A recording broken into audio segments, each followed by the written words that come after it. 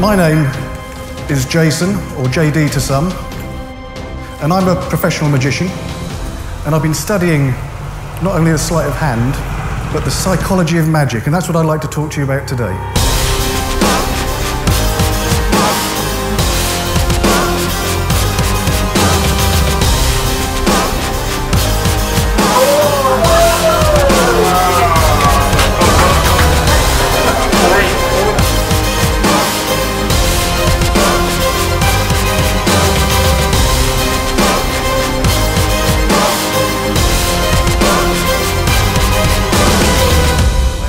Tell everybody what they have to do. Clap and cheer.